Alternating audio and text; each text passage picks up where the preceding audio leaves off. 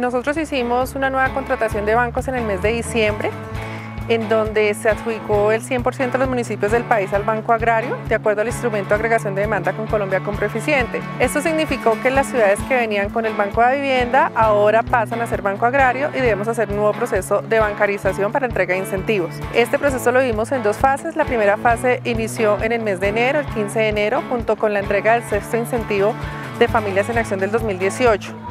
Esta fase incluye 18 ciudades en el país, en donde esperamos bancarizar a 457 mil titulares del programa. En este momento ya finalizamos proceso en 7 ciudades en Colombia y están continuamente hasta más o menos el 4 de febrero en 11 ciudades más.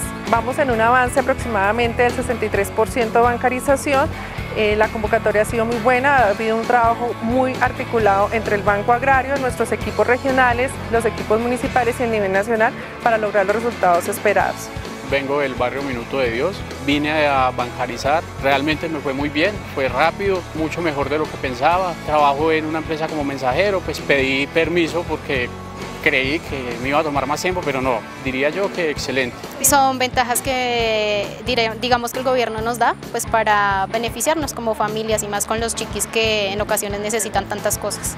Hemos estado en constante comunicación con nuestros equipos municipales, nuestros equipos regionales, todo el tiempo hablando, revisando cada proceso y creo que esto ha sido el éxito de las jornadas ya que hemos podido identificar a tiempo las alertas, hemos podido solucionar los inconvenientes y en general la gente sale satisfecha de los procesos porque es en muy corto tiempo, damos información precisa, asertiva frente a cómo es el manejo del producto y se le entrega su incentivo completo. Nuestro propósito es que en todo Colombia nuestras familias tengan su tarjeta de débito y puedan disponer de esos recursos cuando lo consideren y también puedan ahorrar.